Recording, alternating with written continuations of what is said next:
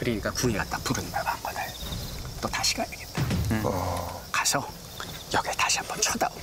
그래서 싹 이제 군함을 몰고 이리로 쫙 가는 거야. 어. 근데 견훤이 직접 나와 있어. 어떻게 직접 나왔는데 미리 전함 다 만들어가지고 영암부터 목포까지 일자로 세워놔 전함. 들어와.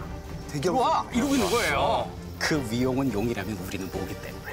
어머 진짜 기억나시죠? 그때 견훤은 어떤 전술적 측면이라기보다는 위용을 과시하기 위한 위용. 쫙 있어요. 올테면 와봐라. 크게 부하들이 오줌을 쌉니다. 달달달달 떠는 거잖아. 이게 딱 이순신의 명량해전 복사판인 거예요. 그러네 비슷한 애. 있죠. 열두 척밖에 없는. 그러니까 여기는 왕건이 뭐라고 그러냐. 잘 듣거라. 아.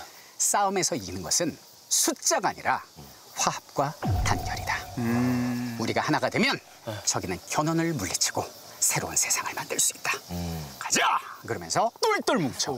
뭉쳐가지고 일자진으로 있죠. 네. 일자진으로 가는데 진짜 왕건이 대단한 게 그때부터 자, 쓱 바다를 봅니다. 바다 사람이잖아요.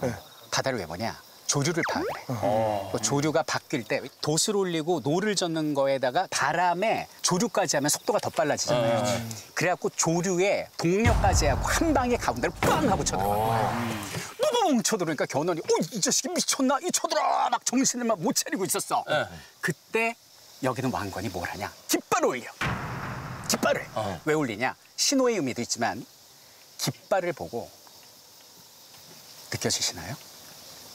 바람이 바람. 아 이게 어디로 부나? 그렇죠.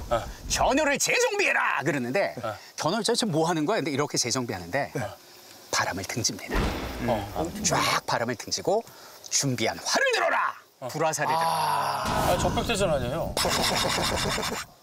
견훤은 맞바람 치는데 그냥 불화살이 날아와가지고 바람 또 제. 온 배들이 다 불바다가 돼. 와.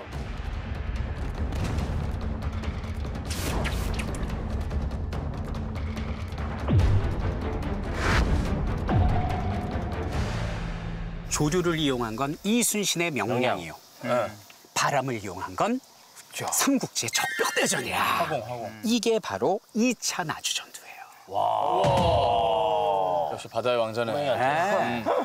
이게 왕관이에요. 네.